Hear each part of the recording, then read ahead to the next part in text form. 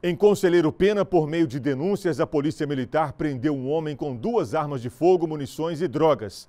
De acordo com a PM, os materiais apreendidos foram encontrados no quintal e dentro de uma casa.